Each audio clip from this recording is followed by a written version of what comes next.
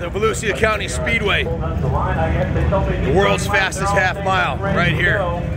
All the national pro riders are here getting ready to line up, and the stands are packed. Look at this crowd. Sold out. Is a place to be. Down there doing her pre-race. They're telling the crew chiefs coming out to their motorcycle. And stick those starters in the side, fire those bikes. Vincent Hines class.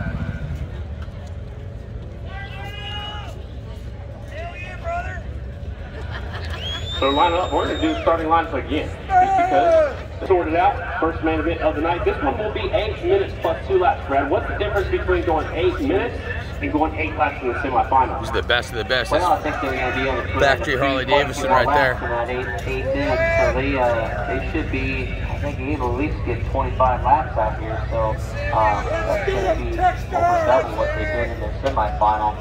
These guys are going to have have to be uh, be a test of five or seven. The five is the softer compound, the seven is the harder compound. If they got that softer compound tire, they're going to have to serve that. Let's go down to the track side. Kristen Beat Kristen. Your special place effort after to be able to have her stick on the road to Pat Buchanan.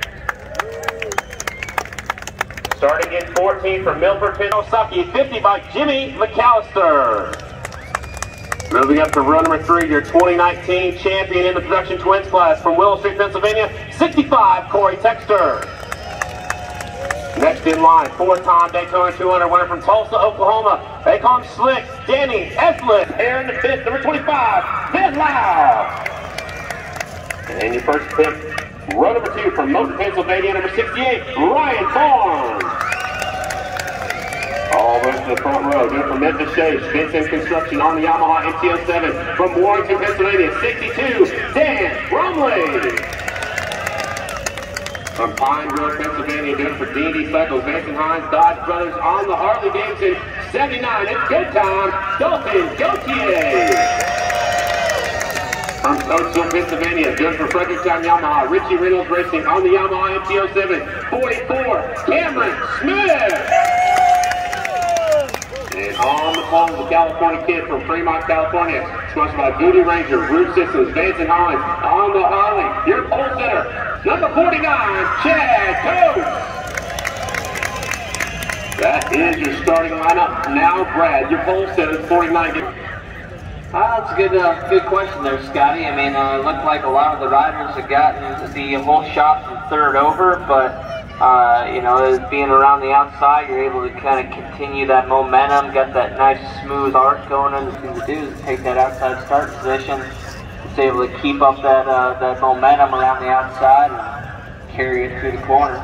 Do you think the 44, Cameron Smith, starting second from the outside, do you think, do you, do you think if Cameron Smith will line up and get his first win. This is what he looks like. This is for the view from Cameron Smith right here on the screen looking at Randy Rizzo. That's his shot into the first corner. Do you think he can win his first main event tonight? I think Cameron has what it takes. I mean, I, I don't think Cameron's actually been on the uh, the podium even in the singles class. I know he's gotten really close to it. He's got a lot of top fives. He's won a lot of outlaw races, but he's never been on the podium, I don't think, in a in a any AFT class. So that's happening tonight? I think that that's definitely happening tonight. I think he's definitely getting on the podium, and I definitely think he has what it takes to, to win this race as well. But uh, he has a lot of good riders there next to him that are uh, that are not going to make that easy for him. Starting on the inside with his left shoulder, ever to win on a Harley XG 750, did that in Sacramento. He's looking to get back on top of the podium. Yeah, he definitely is. He rode in the uh, Super Twin Super Twins class last year. Um, you know, had some decent results, but now he's back in the production class aboard the Vance and Hines Harley Davidson XG 750. He uh, he definitely knows how to win races, so you know he's focused to get back to winning ways. And on the inside, Dan Bromley, he spent a year or two in the uh, Super Twins class. He's hungry for a win as well.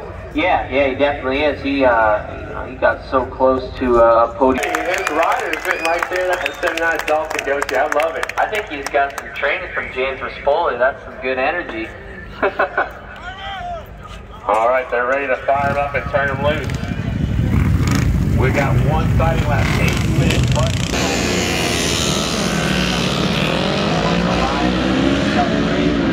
not new, so unfortunately can't scan and not to be allowed to come out to the main event. That's a tough race for the 71. This racing Kawasaki. Chad your pole center, pulls up first, doing for Voodoo Ranger Root Systems in Dallas, Texas. Ben Time and Richie Reynolds Racing on the Harley. Just found out what he's doing just about two weeks ago.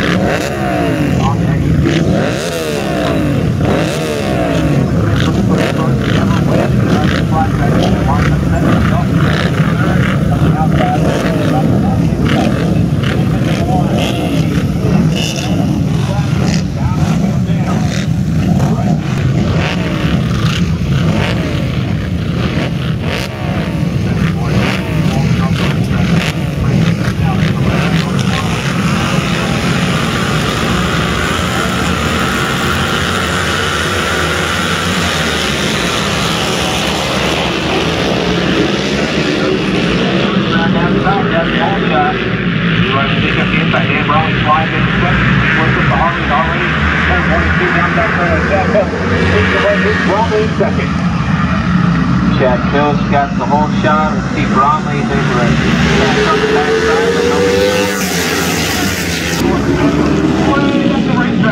This is a lot of ground. Now. Yeah, Cose looking solid. It's awesome to see. He actually broke a boner at the end. Uh-huh.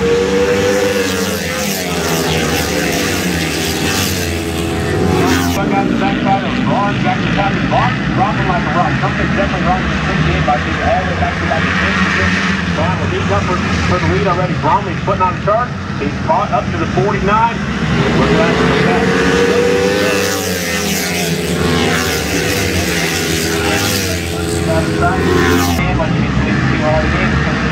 Back away, battle, battle. Up the inside, takes that spot away. As Jack Cose continues to lead. Bromley right there.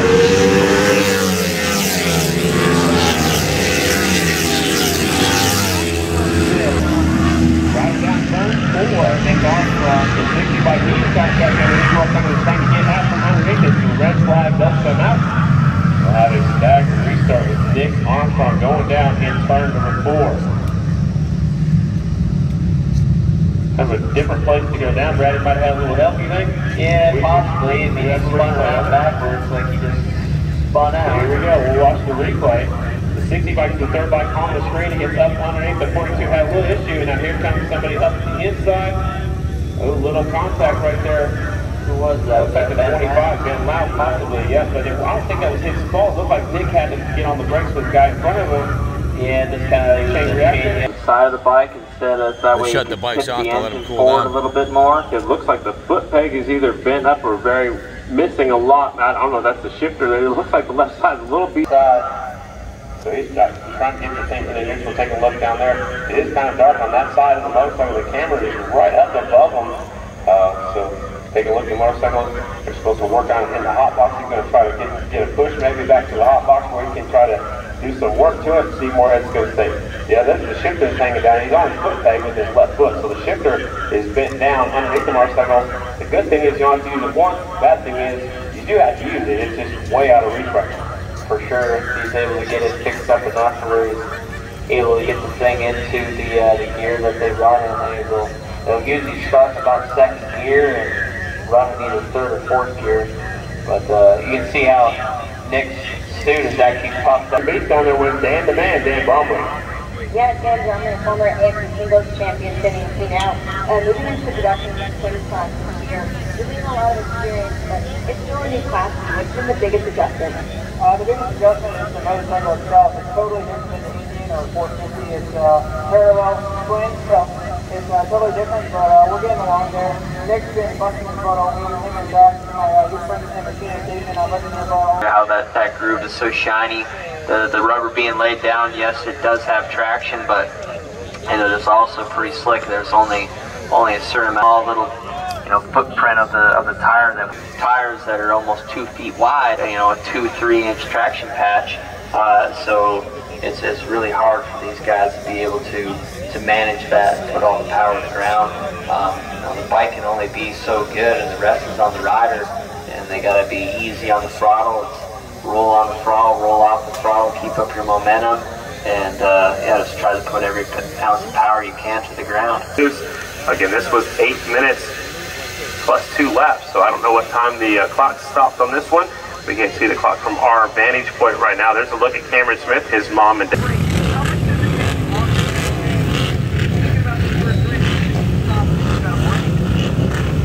It's definitely hard. I mean, you get in a little bit of a rhythm. You uh, got that first start out of the way, and now you're out of your rhythm. Uh, just a little bit. These guys, they got you down.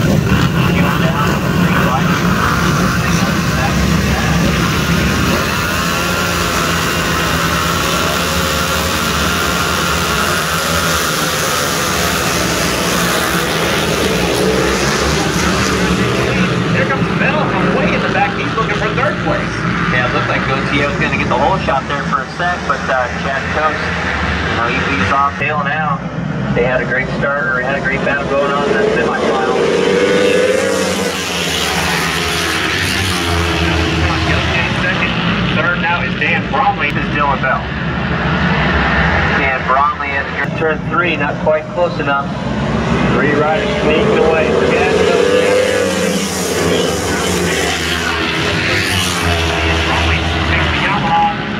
and goes Swift and let Chad Cose get away. Hard to be able to reel him back in. So you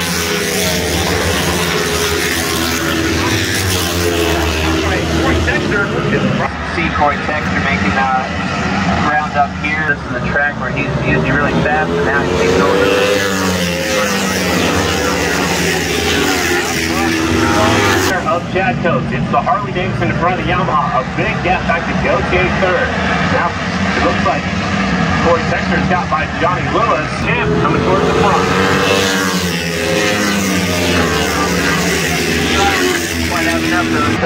Chad Cose. Chad Cose and Bromley second. Dalton Gauthier.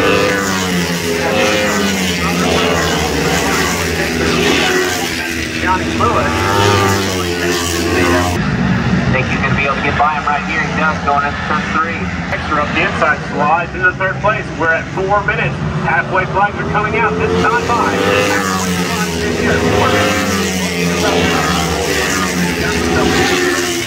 Lewis has a front him. That's Corey Texter, I'm sorry, Dalton Gauthier. They just popped off of it. But man, there's a big battle for fifth on back. Yeah, Dylan Bell made himself up in the sixth position. Another Wide, Johnny Lewis trying to reach Cameron Smith, who went backwards on the restart. He's deep in the field. Last time by Cameron was in seventh. Now he's up looking for sixth place.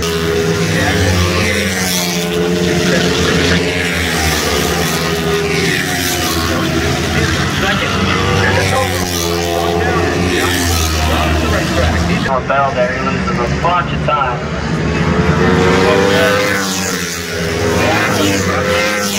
Bromley behind him, Corey Texter. Bell six. Ten. Yeah, these guys are just really matching their pace up front. Time getting down. Say about four five. Looking at the back tire, Ch- Chad Cose trying to size him up. Where is he going to make the pass? Can he make the pass?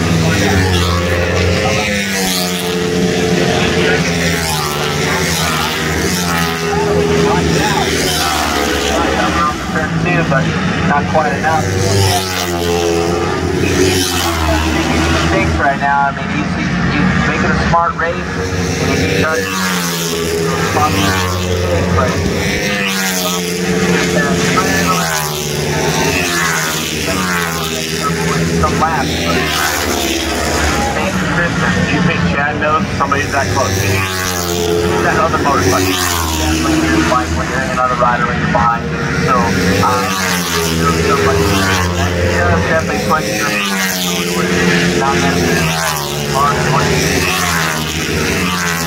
you not to make any mistakes. Inch and a.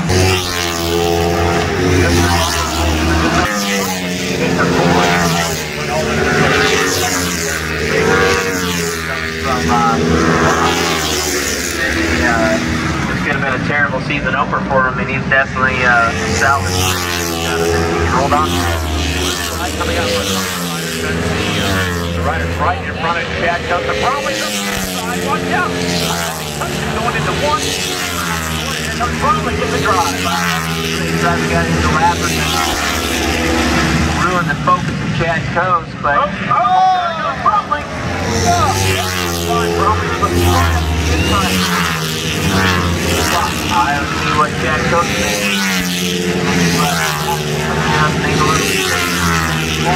time.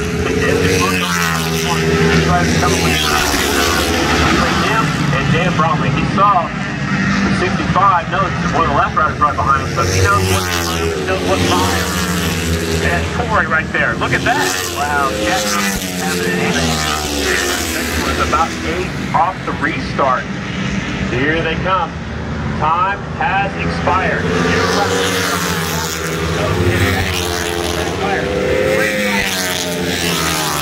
Chad putting his head down.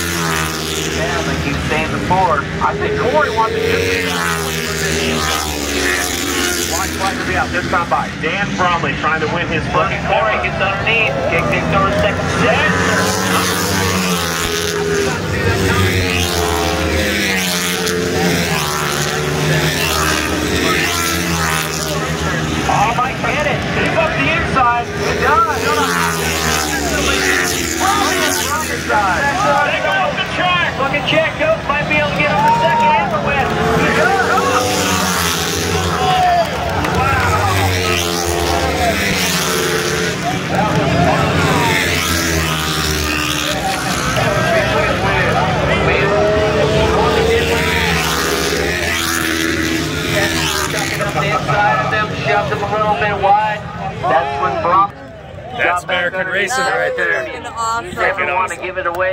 On the last lap like that and open up the door for Chad Cose to come back and get the win on the XG. I got, I got one question.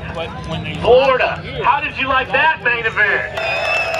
That's what I'm talking about. That's what we came to see right Well, I, I'd already counted him out. Chad did went too. back to third was losing time. The last five laps, he was having troubles in the middle of the corner, pushing the front.